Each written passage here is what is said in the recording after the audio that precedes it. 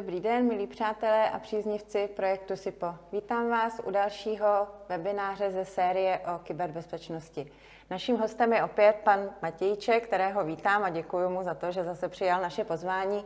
My jsme v minulém webináři tu sérii začali povídáním o heslech, o zprávě hesel a v dnešním díle bychom se chtěli věnovat eh, tomu, jakým způsobem můžeme poznat podvodné e-maily, nebezpečné e-shopy a další e-nástrahy, které v rámci kyberprostoru na nás všechny číhají. Já jsem slyšela, nebo člověk mm, primárně ví o tom, že veškeré útoky nebo hlavně útoky probíhají přes e-maily. Jakým způsobem se tahle věc může stát? Eh, stává se to snadno. Eh, nějakým způsobem uteče někde databáze těch e-mailů. Obvykle někdo třeba hackne nějaký e-shop, nebo to nedej bože někdo prodá. Všichni jako víme, že různí řekněme, šedí operátoři a tak dále se přeprodávají ty telefonní čísla, pak vám ty lidi volají, tak s těmi e-mailama je to vlastně podobný. Takže od někaď uteče nějaká databáze e-mailů, zákazníků prostě a zase ty útočníci k tomu dostanou a pak vás začnou bombardovat nějakými spamy, a nebo pak na vás cílí ten podvodný e-mail, jakoby phishing, a to už je pak něco jako cílenějšího. Takže my jako učitelé často mailovou korespondenci využíváme, komunikujeme hlavně v dnešní době eh, prostřednictvím e-mailů se žáky, s rodiči. Jakým způsobem se dá na první pohled poznat takový podvodný e-mail? Je to vůbec možné? Jak kdy? to je zajímavá otázka. Někdy to poznáte na první dobrou, eh, že tam je špatná čeština, vůbec tam třeba nesedí ta doména, jo? Vlastně to taky tak máte třeba že zavináč seznam.cz nebo zavináč název té vaší školy. To tam nemusí sedět. Jo? Ale když na vás někdo udělá jako dobrý phishing a chce se k vám dostat, tak tohle to všechno si ohlídá, nechá si to dobře přeložit, doménu podvrhne, případně použije nějakou velmi podobnou, tak aby to prostě vypadalo podobně, ale dá tam třeba jiný písmenko. Typicky malý i se třeba nahrazuje za písmenko L, které vypadá jako prostě velké i a něco podobného. Eh, a to potom prostě prochází všema jako filtrama, antispamovými a tak dále, určitě se regulární e-mail, ten je prostě v pořádku. Ten k vám přijde, v něm bývá nějaký odkaz, abyste si něco stáhli, a v tom e-mailu na vás vyvíje nátlak. To je asi jediná nebo jedna z věcí, kterou mají všechny tyhle ty formy toho vlastně phishingu a těch podvodných mailů společnou, je, že se vás snaží nějak zmanipulovat. Většinou... To znamená, mi dají nějaký úkol, něco po mně chtějí? Jo. Uh, buď ať si změníte heslo, uh, ať se někde přihlásíte, ať otevřete nějakou přílohu, kterou vám posílají, nebo ať kliknete na nějaký odkaz. To jsou takové jako nejčastější metody, které oni po vás jakoby chtějí. Takže kdybychom se měli zaměřit na to, když mi přichází mail, který se tváří jako od banky, nebo se tváří třeba jako od IT správce hmm. naší domény a podobně, eh, co po mně nikdy tyto instituce nebo, nebo náš ITák nebude chtít? Co mi má zablikat ta červená kontrolka, tak, tak hmm. tady ne. Ale určitě nikdy nechtějí, abyste jim poslali zpátky svoje heslo. Jo? Všichni tyhle lidi to heslo mají někde zálohovaný, uložený v nějakém jako heši, aby ne, to jako nemohli sami přečíst, ale to heslo někde prostě jako leží, je skovaný, jsou schopní se k němu zpátky dostat. A nikdy teda po vás nebudou chtít, abyste mu poslali to heslo zpátky. Uh, to je jakoby určitě takový jako nejčastější typ podvodu. Jo? A pak vlastně jiný způsoby ověření, potřebu, aby se jsme tady znova přihlásili jako do našeho systému a tak dále. Často ty podvody cílí na to, Teď jsme zvýšili bezpečnost, anebo že školy typicky přecházíme teďka na Office 365 nebo nějaký G Suite nebo něco podobného. Máte tady všichni nové účty, teď se mi tady přihlašte. A vlastně málo kdo se najde na ten odkaz, a když se to najdete, tak se tam pak vlastně jako rozbalí uh, ten reálný odkaz. A tam může být něco úplně jiného, než kam to odkazuje. Jo? To je další věc, jak to můžete poznat. Takže na toto se dávat bacha a hlavně, když na vás jako tlačí, je potřeba, abyste si během 24 hodin prostě udělali, nebo když do, já nevím, x hodin nezaplatíte, tak teďka se něco stane. To jsou takové jako nátlakové metody a to prostě normální instituce, člověk nebo kdokoliv s kým komunikuje, to normálně nepoužívá. Takže v momentě, kdy někdo mi něco takového pošle, já si to přečtu, tak je to o tom nádech, výdech, zastavit se, zamyslet se a nereagovat automaticky hmm. na to, co po, mně, co po mně v tom e-mailu se chce. Hmm. Nějaká ukázka byla by možná podívat se na, jak takové podvodné e-maily vypadají? To určitě, můžeme se na to podívat. Podíváme a ukážeme si je. Nejčastěji dochází k tomu, že v tom e-mailu je na vás vyvíjen nátlak. Bývá těžké to poznat, protože může sedět například adresa administrátora i adresa školy. Tuto adresu je možné podvrhnout a pro běžného uživatele je velmi těžké to poznat. Cílené phishingové e-maily poznáte nejlépe tak, že je v nich na vás vyvíjen nátlak. Pokud vás někdo tlačí k tomu, abyste si v nějakém krátkém časovém intervalu změnili heslo nebo se někam přihlásili, vždy je potřeba být v tuto chvíli obezřetný. Než se někam přihlásíte, vždy se podívejte na to, kam odkaz vede. Pokud se na odkaz jenom najedete a nebudete na něj klikat, po chvilce se vám zobrazí okénko, které vám ukazuje, kam adresa vede. Tato adresa, která je tady v rámečku ukázaná, určitě nevede do školního systému, ale na nějakou podvodnou stránku. V momentě, kdy na takový odkaz klikneme, dostaneme se na falešnou přihlašovací stránku, která velmi zdařile kopíruje vzhled přihlášení do systému bakaláři. V momentě, kdybyste zadali uživatelské jméno a heslo pro přístup do tohoto systému, nikam byste se nepřihlásili, ale tyto údaje by se odeslaly útočníkům. Jak ten e-mail, který se tváří jako od banky nebo od správce, když se podívám na tu adresu, takže bych měla být vlastně i pozorná k tomu, jak ta adresa vypadá. Přiznám se, že když mi přijde e-mail, tak mě málo kdy napadne podívat se na to, jak, v jakém formátu a tvaru ta adresa je. Takže i tohle je jedna z věcí, kterou bychom si měli kontrolovat. Jo, uh, určitě nejjednodušší je podvrhnout tu adresu. Já tu můžu poslat úplně z jiné adresy, a do té zprávy vlastně nějakého parametru prostě v té hlavičce nastavím, aby se tam zobrazilo tohle jméno, když to k vám přijde. Takže já se můžu podepsat klidně jako váš ředitel. Prostě není to problém, udělám to. Když to ta instituce nebo škola nebo kdokoliv, komu to přijde, nemá úplně jako pošéfovaný, tak takovýhle e-mail projde. Dá se tomu bránit, ale už je to o nějakém jako nastavování mail serveru, prostě dalších věcech, na což často jakoby menší správce nebo menší firmy prostě vůbec jako nemyslej, často ani neví, že by se něčem takovým měli zabývat. Jo?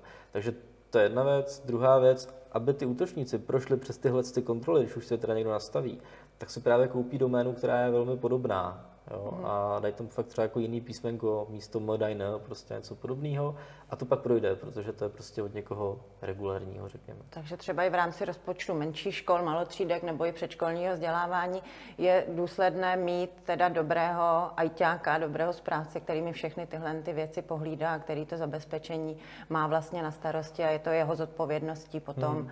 jestli ty e-maily všechny jsou bezpečné. S tím mi připadá i otázka kombinace pracovních a soukromých e-mailů. Mnohdy učitelé využívají i třeba své osobní e-maily na komunikaci s rodiči, se školou. Eh, co toto téma? To je asi taky velmi tenký let. To, to je úplně špatně. to si řekneme jako rovnou, že to je prostě úplně špatně, to by prostě být nemělo. Vlastně nevíte, kdo s váma komunikuje z nějakého jakoby e-mailu typu prostě seznam centrum volný a podobně. Jo. Tam se ten e-mail můžu založit prostě já, změnit si tam jedno písmenko nebo trošku upravit to jméno, vydávat se za toho učitele, někde si skopíruju prostě ten podpis, který ta škola používá, aby to vypadalo jako, že to je, že to je opravdu ode mě a můžu se jakoukoliv vydávat. To prostě ne. Jo. Opravdu je potřeba, když máte školní e-maily, a jako neznám školu, která by neměla ty školní e-maily, že mají tu doménu svoji, tak to prostě posílat pod ní. Jo. Opravdu jako neexistuje, že bych k tomu používal soukromý mail. Nedej bože, že vlastně jako pak do soukromého života přetahávám nějaký osobní data těch žáků a tak dále. A lítá to vlastně nějakým e-mailem, který ta instituce, který ty data patří a spravuje, nemá pod kontrolou v tu chvíli. Takže velká výzva pro učitele a pro současnou dobu, která je na to velmi citlivá, skutečně striktně oddělujte pracovní a soukromou komunikaci v rámci komunikace s rodiči se hmm. školy. Když jsou to třeba naši přátelé, tak skutečně školní věci posíláme zásadně ze školních účtů. Tím bychom asi téma těch e-mailů schrnuli a teď bychom se podívali na téma podvodných e-shopů, protože samozřejmě nejen v soukromém životě, ale i v rámci života školy a nějakých organizačních věcí pro třídu, nakupování pomůcek a podobně, tak určitě řada učitelů služby e-shopu využívá. I tady může být zakopán pes v rámci kyberbezpečnosti a bezpečného pohybu v online prostředí. Jaké jsou ty základní zásady toho, kde nakupovat, jak a třeba ten podvodný e-shop poznat? Hmm. Eh, určitě ten, ten základ je prostě klasický selský rozum, když to řeknu takhle lidsky. Když je něco moc výhodného, tak na tom prostě bude nějaký háček. Nikdo vám nedá prostě 85% slevu. Jo? To, to by prostě byl sám proti sobě, nic by na tom nevydělal. A zní to moc hezky, ale... Zní to hezky a máme tendenci tomu prostě podlíhat. Jo? Takže když vám prostě někdo ukáže, teď tady máme slevy prostě a tak. Uh, lidi na to prostě klikají, objednávají to, prostě objednávají to úplně z neznámých e-shopů. Určitě existuje dobrá věc a to je databáze podvodných e-shopů a to zpravuje Česká obchodní inspekce. A na stránkách České obchodní inspekce tam je co, jaká sekce pro zákazníky a tam je právě ten seznam, nebo pro spotřebitele, a tam je právě ten seznam těch podvodných e-shopů. A můžete se to porovnat. Když si nejste jistí, že ten e-shop na vás působí nějak zvláštně, a teďka se, se jako můžeme říct, jako proč působí zvláštně, tak tam si to můžete ověřit tak v tu chvíli možná je ta nejlepší varianta jít pryč a najít si nějaký jiný zdroj, ale to, jak působí hmm. zvláštně, jak to vypadá. Co je to působí zvláštně? Právě ta viděna ušetřit je často silnější než ty bezpečnostní mechanismy, které vám jako začnou blikat. Jo. Uh, určitě, proč to působí zvláštně, často to nemá HTTPS šifrování. To znamená, že se tam hodí jako ten červený zámeček, že komunikace není šifrovaná Což už ale nemusí být nutně pravidlem, dneska se to jako může každý druhý prostě udělat, není s tím úplně Takže problém. zámeček na, na lince není... Už to není stoprocentní, hmm. že to je prostě spolehlivý. Jo? Zámeček na webu zelený mám i já prostě, může se tam dát takový jakýkoliv e-shop, není to zase nějak jako technicky složitý, jo? dřív to bylo trošku horší. Uh, další věc, co tam bývá špatně, je, že tam jsou ty výrazné slavy prostě a je tam vyloženě takový ten tlak, teď kupte prostě. Často to bývá i udělaný jako auční portál, jo? že teďka máte mm. já nevím, 12 hodin na to se to prostě vydražit za tuhle Zase dostat člověka pod tlak a mm. vydolovat z něj to rozhodnutí tam nakoupit. Mm. To je pravda. A další věc, která tam vlastně bývá, tak je to, že tam chybí nějaké obchodní podmínky a často tam hlavně chybí kontaktní údaje. Případně, když začnete trošku jako se zahrát na detektiva a podíváte se, kam to jako vede, tak zjistíte, že jsou to různé země typu Seychely, prostě a jeho Africká republika a tak dál. To podívat se, kam to vede, je to tak jednoduché pro běžného uživatele? Um, úplně jako ne, ale když se jako prostě trošku s tím pohrajete, najde tam třeba nějaký kontakt nebo nějaký člověk se podíváte, komu ta společnost patří a tam už se pak jako dá dohledat. Takže se na ty základní věci můžeme společně podívat. Určitě můžeme. Na podvodných e-shopech často nenajdete žádný kontakt na nikoho, s kým byste mohli řešit případné reklamace anebo stížnosti. Pokud si tedy projedeme celou stránku až do konce, kde bychom mohli čekat nějaký odkaz eh, například na obchodní podmínky a nebo kontakt na provozovatele, nic podobného tam nenajdete. Najdete zde pouze zmínku na společnost, která se nachází někde v Panamě. Samozřejmě další z klasických příkladů toho, jak poznat to, že se jedná o stránku podvodnou, velmi výhodná cena. Slevy větší než 40% už bývají zvláštní a v takových případech byste měli spozornět. Pokud se nám takový e-shop nezdá, můžeme si skopírovat jeho název a podívat se na stránky České obchodní inspekce. Pokud se podíváme na stránky České obchodní inspekce, zjistíme, že e-shop nikozeron.com je zde uveden jako podvodný a to například z toho důvodu, že se často objevuje ve spamech, které chodí do elektronické pošty, chybí zde zcela obchodní podmínky, provozovatel je uvedena právě společnost s Panamy, která navíc figuruje v mnoha jiných rizikových e-shopech. Když se podíváme na další z rizikových e-shopů, můžeme vidět, že například v sekci kontakty vidíme pouze e-mailovou adresu a kontaktní formulář, žádné telefonní číslo, žádnou adresu, žádný přímý kontakt na společnost. Pokud se rozklikneme stránku, eh, která by se měla věnovat této společnosti, kde byste typicky nějaké kontaktní údaje čekali, nic podobného zde nenajdete, jedná se pouze o nějaké informativní texty. Pokud se chceme podívat, eh, jak bychom postupovali v případě reklamace, rozklikneme si eh, například část produkt je rozbitý, co dál, a zde je velmi lámanou češtinou napsaná velmi stručná věta, která nijak nesouvisí s případnou reklamací produktu. Takovým e-shopům je určitě dobré se vyvarovat, pokud se vám nezdají, podívat se na stránky České obchodní inspekce a samozřejmě ideálně, pokud máte jakékoliv pochybnosti, nakoupit na nějakém jiném e-shopu to, jakým způsobem nakupovat, jak poznat. Když potom dojde na vlastní placení, na pozor na platební brány a podobně, jsou i tady nějaká rizika, když už se teda rozhodneme, že někde nakoupíme a vstupujeme do platební brány a podobně, jsou i tady věci, které by si měl člověk ohlídat a dát si na ně pozor? Určitě, ta platební brána stoprocentně musí běžet na tom HTTPS, to znamená zelený zámeček. Jo. V momentě, kdy by vás bráně vedlo cokoliv, že tam zelený zámeček není, tak to znamená, že kdokoliv může odchytávat ty údaje, co tam zadáváte, to znamená číslo kreditky a všechny ty údaje, prostě, co tam k tomu dáváte. To určitě jako není dobrý. Uh, většinou to i bývá tak, že vás to vede na nějakou externí platební bránu. Tam bych doporučil používat takový ty známější, co známe, já nechci přímo jako jmenovat, ale to už jako tak člověk jako většinou ví, že takhle ta brána zhruba mm. vypadá, takhle to normálně má být. Když vás to hodí na nějakou úplně zvláštní no-name, prostě, která má divnou adresu, uh, nedej bože, prostě tam není ten zámeček, tak prostě hned pryč. Jako. Hmm. Tak řada těch upoutávek, nabídek i v současné době vlastně učitelé mezi sebou sdílí prostřednictvím Facebooku, co kde nakoupili, co kde šikovného do školy pořídili, nějaké pomůcky, případně vybavení tříd. Eh, dostáváme se k tomu, jak prostředí Facebooku může být taky rizikové, nejenom pro učitele, ale i řada škol má své facebookové profily, někdo se o ně stará. I tohle by byla asi oblast, kterou bychom v současné době i komunikace s rodiči a prezentace školních aktivit, i doporučení učitelů mezi sebou v rámci facebookových skupin Zkuste nám říct nějaká základní pravidla té bezpečnosti pohybu vlastně na, na Facebooku, co se týká právě možností útoků a podobně. Jo, eh, to je, to je docela složitý téma. Eh, když si teda jako vezmeme to, že už se rozhodneme na Facebooku prostě jako nějak prostě komunikovat s těma, s těma ostatníma rodičema, s dalšíma lidma, tak jako dobře, řekli jsme, že to teda svěříme teďka ty naše data Facebooku a jsme teda smíření s tím, že všechno, co tam prostě nalijeme, to znamená všechny fotky, videa, výukové materiály, prostě budou ležet někde na amerických serverech a, a jsme s tím teda jako v pohodě. Tak jo, v každém případě bych se pak dával pozor na to, aby tam byl nějakým způsobem třeba oddělení ty identity.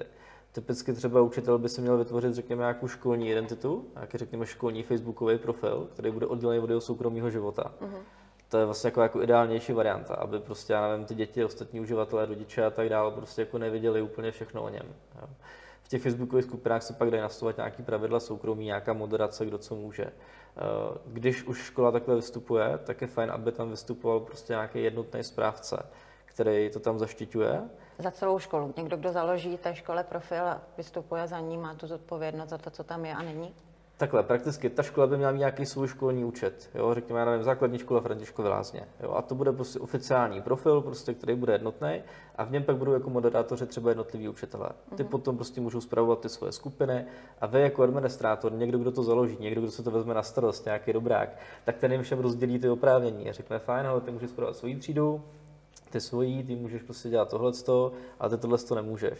Můžete tam mít i někoho, komu dáte třeba práva jenom proto, aby se na to podíval, aby měl jenom jako náhled, prostě nemůže třeba mazat příspěvky a tak dále. Dá se s tím pohrát, dá se to vyladit a asi jako je fajn, aby se k tomu prostě někdo, kdo k tomu jako rozumí, sednul, a projel si to a hlavně, aby si vymyslel nějakou koncepci, jak to budou dělat.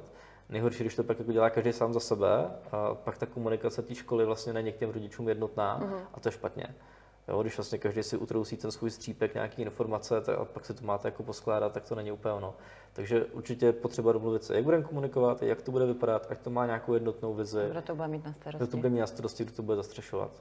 Takže jo. takové ty hurá akce třídních facebookových skupin, které někteří učitelé trošičku pirátsky třeba eh, realizují, tak, tak to není úplně ideální cesta. Jasně, no. ono jako někde, někde je to prostě samozřejmě snaží, než se dohadovat s vedením, prostě, nebo než jako se vytvoří ten komplex, tak to jako rozjet sami na sebe. Není to úplně ideální, jako opravdu je lepší, když to má nějakou štábní kulturu prostředí eh, Facebooku vlastně může dojít i takzvanému odcizení identity. Už jsem několikrát slyšela, že se stalo, že někdo poslal žádost o přátelství. Tvářilo se to jako, že nás žádá opravdu člověk, kterého známe, ale pak na to navazovala série nějakých útoků na účty a podobně. Jaký je tohle problém v rámci Facebooku? Jak se to pozná nebo jak se máme chovat v případě, že se nám něco takového stane? Uh, jde o to, jak je ten útok udělaný, je jich hodně. Aktuálně třeba jako hodně lídá takový Eh, podívejte se, kdo se na vás na Facebooku koukal. Je dobré vědět, kdo vás na Facebooku sleduje a tak dále. Vy na to kliknete, ono to řekne fajn, znova se přihlašte, my vám zobrazíme výsledky, vy se znova přihlásíte, ale v tu chvíli už se nepřihlašujete do Facebooku, ale k těm útočníkům, do nějaké falešné stránky.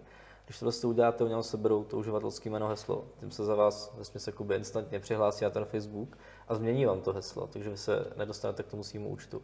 Oni se pak za vás vydávají a rozpošlou to zase dalším lidem a je to zase takový letadlo nebo takový pyramidový efekt to má. Co v tu chvíli teda dělat? Jaký je postup k tomu, abych se zpátky se dostat k tomu účtu asi možné úplně není, ale jak informovat teda lidi, na které jsem přišla o kontakty a, a podobně, jak se má člověk chovat v tu chvíli? Je to těžký. Možná bych na začátku řekl, že předcházet se tomu dá a to tím, že budete používat to dvoufázové ověření, o kterém jsme se bavili v minulém webináři. Mm-hmm. A co dělat potom? Potom vás bude jenom to napsat na podporu Facebooku a oni to s váma začnou řešit. Nějakou dobu to trvá, protože se domlouváte s někým prostě anglicky, kdo sedí v jiný zemi, ale jsou schopni vám to obnovit. Musíte nějakým způsobem prokázat, že jste to vy. Chtějí po vás nějaký konkrétní prostě informace. Mm-hmm. Třeba nahrajte sem nějakou fotku, kterou jste na Facebook dávali. Jo? Tím jako třeba uvěří, že to máte třeba jenom vy prostě a tak dále. Mají tam jako několik mechanismů, kterými se vás jako uvěří a když jako jo, tak vám ten účet prostě vrátí. Hmm, takže žáci a studenti určitě jsou zběhlejší v rámci facebookového prostředí než, než mnozí pedagogové. Eh, dostáváme se do, do doby, kdy se budeme učit my od těch mladších, takže určitě se učitelé nemusí bát požádat své žáky a studenty o to, aby jim pomohli nějakým způsobem, ale zároveň asi by bylo na místě eh, s dětmi se o tom bavit, jakým hmm. způsobem se chovat a, a tématiku vůbec kyberbezpečnosti eh, v online prostředí nějakým způsobem ve školách řešit. Jaké by bylo vaše doporučení? Určitě je dobrý ten point, o kterém jste teďka začínala, že vlastně jakoby ty učitelé se můžou učit od těch dětí. Upřímně třeba jako o zprávu nějakých jakoby facebookových skupin a to rozdělování těch jako rolí oprávnění v tom ty děti jsou dobrý. Spousta z nich nějaký skupiny spravuje a asi by fakt jako nebylo na škodu si k tomu sednout a říct, hele fajn, tak dneska to uděláme obráceně, ukažte nám prostě, jak to funguje a máte vlastně připravený systém, podle kterého pak už to můžete rozjet, jo, což je vlastně jako fajn.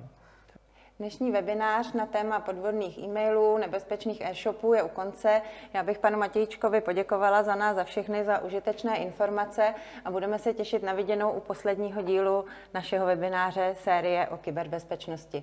Veškeré informace najdete na webu projektu SIPO nebo pod videem. Těšíme se příště na viděnou. Díky a shledanou.